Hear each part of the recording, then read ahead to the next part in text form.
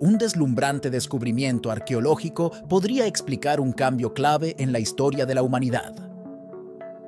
Un grupo de arqueólogos descubrió información importante sobre las prácticas médicas y los protocolos de higiene usados en el Renacimiento. ¿En qué cambia esto el rumbo de nuestra historia contemporánea? Un grupo de arqueólogos realizó un importante descubrimiento sobre la medicina del siglo XVI durante las excavaciones en el Foro de César en Roma. El hallazgo fue catalogado como uno de los más importantes de los últimos tiempos. Según los expertos, proporciona una valiosa visión sobre las prácticas médicas y los protocolos de higiene utilizados durante el Renacimiento. Durante las excavaciones, los arqueólogos encontraron vertederos de residuos y equipamientos médicos del siglo XVI. Entre los elementos se destacan medicamentos, vasijas de vidrio soplado y frascos de orina. En el Renacimiento, el diagnóstico y tratamiento se obtenía a través de la inspección visual de la orina, técnica denominada uroscopia. En la mayoría de los casos, la muestra era recolectada en un matraz de vidrio llamado mátula. Este era transportado hacia los laboratorios en cestos de mimbre para estudiar su color, transparencia y sedimento. Por otro lado, descubrieron que los pacientes recibían un equipamiento de objetos personales, compuesto por una jarra, un vaso, un cuenco y un plato. Según los expertos, esto podría estar relacionado a motivos higiénicos. El siglo XVI transcurrió con apariciones permanentes de pestes en Europa.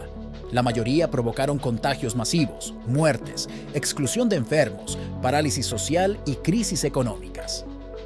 En las expediciones se localizaron abrazaderas de plomo y madera carbonizada. El descubrimiento sugiere que los médicos seguían el protocolo estándar, que consistía en quemar las pertenencias consideras infectas o que habían entrado en contacto con el paciente. Los descubrimientos arqueológicos más importantes de la historia nos ayudan a desvelar secretos sobre la humanidad.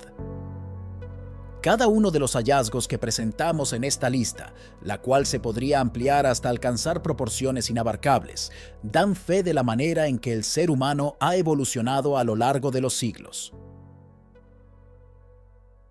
Acomódate en tu asiento y haz este viaje con nosotros a sitios y momentos fascinantes de la historia.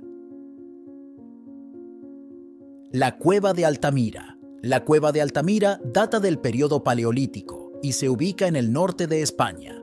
Su monumental importancia radica en que contiene pinturas policromadas y dibujos al carbón de manos humanas y animales en perfecto estado de conservación. Es lo que se llama arte rupestre. Este sorprendente yacimiento arqueológico se encontró por Modesto Cubillas en 1868 y es Patrimonio Mundial de la UNESCO. La tumba de Tutankamón. El egiptólogo Howard Carter desenterró la tumba del faraón Tutankamón mientras trabajaba en la excavación del Valle de los Reyes en 1922. El hallazgo de uno de los faraones más famosos de todos los tiempos tardó ocho años en ser documentado. A partir de que se descubrió la tumba, circularon rumores sobre maldiciones y hechos funestos que le dieron un carácter místico a este sitio. Líneas de Nazca. Si sobrevuelas el desierto de Nazca en Perú, verás unos enormes geoglifos que se asemejan a animales y plantas. Son las llamadas líneas de Nazca, las cuales se remontan a entre 1500 y 2500 años de antigüedad. Paul Kosok, historiador estadounidense, fue el primero en realizar un estudio sobre ellas, cuya finalidad sigue siendo un misterio. Los guerreros de terracota. El primer emperador de China, Qin Shi Huang, fue enterrado en una tumba protegida por un ejército de 8.000 soldados hechos de arcilla a tamaño natural y con rasgos únicos. Los agricultores descubrieron los guerreros de terracota en 1974 y desde entonces, las investigaciones han llevado a los arqueólogos a creer que la tumba del emperador es una enorme réplica de la ciudad de Xi'an, la piedra de Rosetta. Dentro de los descubrimientos arqueológicos más importantes de la historia, no podemos olvidar la piedra de Rosetta, la cual permitió descifrar los jeroglíficos egipcios. El artefacto data del año 196 a.C. y lleva inscrito un decreto real emitido por sacerdotes en nombre de Ptolomeo V, entonces gobernante del imperio ptolemaico de Egipto, en tres escrituras distintas, demótica egipcia y los jeroglíficos, junto con el griego antiguo. La ciudad de Petra. En 1812, el explorador suizo Jean-Louis Burckhardt encontró la ciudad perdida de Petra. Entusiasta de la cultura árabe, Burckhardt se convirtió a la religión musulmana y se cambió el nombre por el de Ibrahim ibn Abd Allah, lo que le permitió ganarse la confianza necesaria para ser conducido hasta Petra.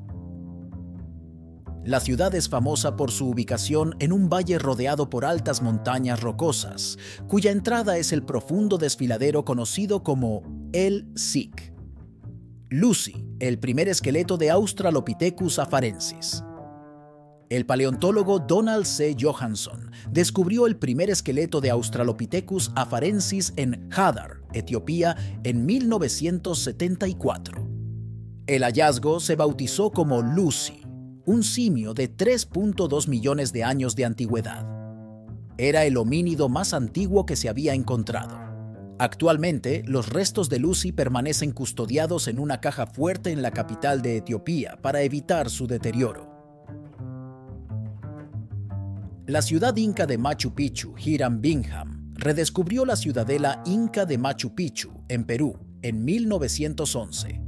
Se construyó a mediados del siglo XV y se cree que fue una de las residencias del noveno inca del Tahuantinsuyo, Pachacútec.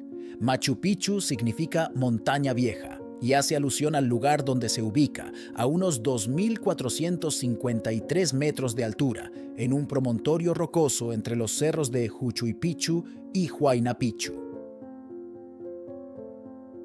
El complejo megalítico de Stonehenge la primera excavación de la que se tiene constancia en Stonehenge, un monumento prehistórico formado por un anillo de piedras de 4 metros de altura en Wiltshire, Inglaterra, la inició el duque de Buckingham en la década de 1620.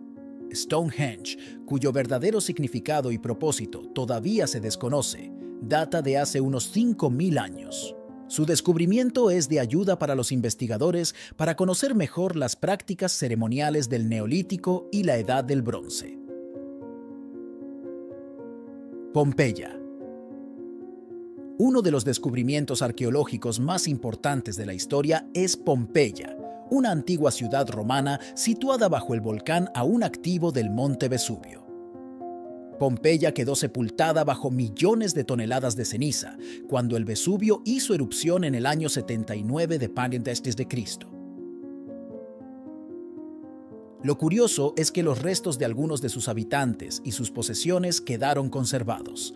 Las cabezas gigantes Rapa Nui en la isla de Pascua Rapa Nui, también conocida como Isla de Pascua, es una isla del Pacífico bien conocida por una inmensa colección de moai, estatuas masivas que representaban a los antepasados Rapanui.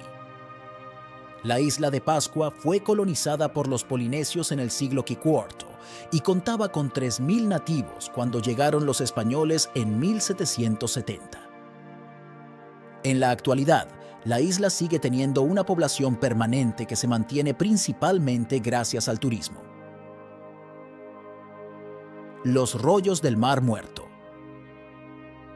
los rollos del Mar Muerto, uno de los descubrimientos arqueológicos más importantes de la historia, se encontraron en unas cuevas cercanas a Jericó, gracias a un joven pastor de cabras. Los rollos, en su mayoría escritos en hebreo, cubren la historia de más de 500 años, desde el siglo III a.C. hasta el siglo II de Cristo, incluyendo el nacimiento de Jesucristo y el surgimiento del cristianismo. Cada año, la historia del hombre se reescribe y nos deja nuevos conocimientos gracias a los diversos hallazgos arqueológicos que se encuentran a lo largo y ancho del planeta. La labor de los expertos en este sentido es vital para el conocimiento del pasado y la manera en que podemos enfrentar las situaciones venideras. Estos son los descubrimientos arqueológicos más importantes de 2021. Monedas de oro de origen celta. El hallazgo podría proporcionar nuevos conocimientos sobre los movimientos migratorios en la Edad de Hierro, afirma un experto. AFP.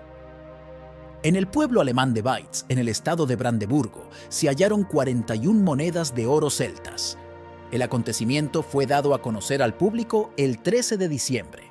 Marjanko Pilekic, experto en monedas antiguas, dijo que como las monedas fueron encontradas lejos del área de distribución real de los celtas, el hallazgo podría proporcionar nuevos conocimientos sobre los movimientos migratorios en la Edad de Hierro.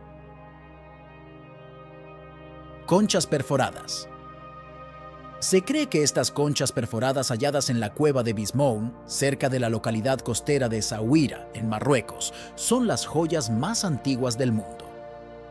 AEFP, con una edad que data de hace 150.000 años aproximadamente, se cree que estas conchas perforadas halladas en la cueva de Bismoun, cerca de la localidad costera de Essaouira, en Marruecos, son las joyas más antiguas del mundo. El investigador Abdel Jalil Boussugar las describió como objetos simbólicos que solo pueden transmitirse a través del lenguaje. Antiguo edificio de un ayuntamiento israelí.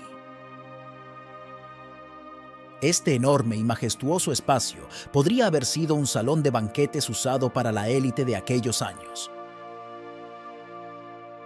Getty Images durante unas excavaciones bajo la ciudad vieja de Jerusalén en los primeros días de julio, un grupo de arqueólogos israelíes encontró vestigios de lo que podría haber sido un edificio del ayuntamiento de 2.000 años de antigüedad. Este enorme y majestuoso espacio podría haber sido un salón de banquetes usado para la élite de aquellos años, hueso decorado por neandertales. La cueva del unicornio, en Alemania, ha sido una mina de hallazgos paleontológicos desde la Edad Media. Colmillos de mamut, dientes de oso y restos de animales extintos han estado entre los artículos más buscados al interior. Las malas lenguas afirmaban que, incluso, en las cámaras más profundas merodeaban dragones imposibles de vencer. Las inscripciones en las paredes sugerían la existencia de unicornios y otros animales míticos. Aunque no existe ninguna evidencia que respalde la presencia de estas bestias mitológicas en la cueva, lo cierto es que ha sido un espacio que ha dado pie a amplia investigación sobre las formas de vida prehistóricas. Más recientemente, se ha extendido a los neandertales, que dejaron ahí figurillas talladas sobre hueso, aparentemente con fines más estéticos que prácticos. Foto: Sven Fortner, Picture Alliance, vía Getty Images. Gabriele Russo quedó maravillado al encontrar restos animales tallados en la cueva del unicornio, en Alemania. Esto no fue precisamente lo que lo sorprendió. Era común entre los neandertales que los huesos de diversas especies utilizadas como alimento se aprovecharan para hacer instrumentos, herramientas e incluso vasijas. Lo que le arrebató el aliento verdaderamente fue que las piezas que encontró no parecían tener uso práctico alguno. Apenas con canales superficiales, era claro que habían sido intervenidas por la mano humana. Sin embargo, las líneas inclinadas sobre la superficie no tenían función alguna, según se aprecia en el material fotográfico de National Geographic. Esta condición llevó a Russo a pensar que, tal vez, podría estar relacionada con la producción plástica primitiva. A diferencia de otras piezas encontradas al interior de la cueva, el patrón de corte en estos huesos no parecía producto de un utensilio creado para extraer carne o tuétano. Por esta razón, el experto pensó en relacionarlo con un diseño decorativo, una intención que generalmente no se le atribuye a los neandertales. Considerados como versiones más burdas de los seres humanos contemporáneos, cualquier posibilidad de inspiración estética o pensamiento más complejo les había sido completamente anulada. Hasta ahora.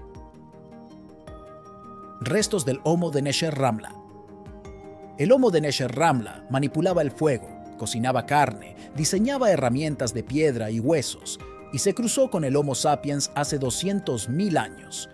El intrincado árbol evolutivo de los humanos posee una nueva rama.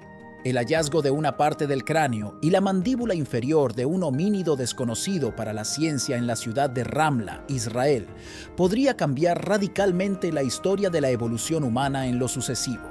El análisis de los fósiles encontrados en una cantera de Nesher Ramla confirmó que no pertenecía a ninguno de los Homo antes descritos, sino que se trata de un ejemplar de una especie inédita que vivió en la región conocida como Levante Mediterráneo al oeste de Oriente Próximo, hace unos 130.000 años. El Homo de Nesher Ramla Como fue llamado por los autores del estudio, compartió rasgos en común tanto con neandertales como con otras especies extintas del género Homo, especialmente los dientes, las mandíbulas y la forma del cráneo. A pesar de que el Homo de Nesher Ramla también compartió la región y la misma época con el Homo sapiens, el nuevo homínido no comparte rasgos cercanos con nuestra especie, debido a su estructura ósea diferenciada y dientes largos. No obstante, la evidencia actual sugiere que esta especie habitó la región desde hace al menos 400.000 años, mientras que el Homo sapiens se expandió a Oriente Próximo hace unos 200.000 años. Esta coincidencia temporal y geográfica, aunada a una alta capacidad cognitiva, es la principal evidencia para apoyar la hipótesis de que el nuevo Homo tuvo contacto amplio con los humanos. El hallazgo publicado en Science Journal también amplía la noción recientemente aceptada de que Sapiens y Neanderthals no fueron los únicos que desarrollaron tecnología. El estudio asegura que este homínido utilizaba leña como combustible, cocinaba o asaba carne e incluso mantenía fogatas, además de diseñar herramientas de piedra y huesos, un rasgo que podrían haber aprendido de nuestra especie. La existencia del Homo de Nesher Ramla podría cambiar la historia evolutiva del Neandertal un homínido que hasta hoy se creía originado en Europa y cuya incursión en Israel hace unos 70.000 años se explicaba a través de la migración. Sin embargo, el hallazgo sugiere que en realidad algunos grupos emigraron hacia el oeste de Europa y el este de Asia durante los periodos interglaciares, mientras se mezclaban con otros homínidos, explicando el vínculo común entre neandertales y otros grupos de humanos arcaicos en Asia. De ahí que hace decenas de miles de años, Próximo Oriente se levantara como un punto de encuentro donde distintos homínidos se mezclaron y expandieron hacia Europa y Asia, una pieza más del rompecabezas de la evolución humana y los homínidos extintos. Cuidad Dorada perdida cerca de Luxor. Esta ciudad perdida se remonta al reinado de Amenhotep III, uno de los faraones más poderosos que gobernó Egipto de 1391 a 1353 cerca de Luxor, una de las ciudades más importantes de la antigua civilización egipcia. Egiptólogos descubrieron una ciudad dorada perdida de 3.000 años de antigüedad. Este hallazgo fue calificado como uno de los más importantes desde el descubrimiento de la tumba de Tutankamón en 1922. Esta ciudad perdida se remonta al reinado de Amenhotep III, uno de los faraones más poderosos que gobernó Egipto de 1390 y uno a 1353. El arte rupestre más antiguo de la historia. El año arrancó con el hallazgo de pinturas rupestres en una caverna de Sulawesi, Indonesia, por un grupo de arqueólogos australianos e indonesios. En este conjunto de pinturas se pueden ver cerdos prehistóricos que fueron pintados con ocre, un mineral inorgánico que no puede datarse con carbono. Los investigadores dataron que la pintura más antigua fue creada hace al menos 45.000 años, el resto de calendario maya más antiguo. La tumba real maya más antigua conocida se ubica en San Bartolo, Guatemala, y contiene el mural maya más antiguo conservado una imagen de 2.54 centímetros, una pulgada, de ancho de la cabeza de un venado descubierta en la base de una pirámide en San Bartolo, Guatemala. Es la notación más antigua conocida del calendario ritual maya de 260 días que todavía se usa en la actualidad, señala Archaeology. De acuerdo con el estudio que fue publicado en la revista Science Advances, el glifo, signo grabado o pintado, conocido como Siete Siervos, representa una fecha y fue pintado entre los años 200 y 300 a.C como parte de un mural que decoraba una de las paredes interiores de la pirámide Las Pinturas.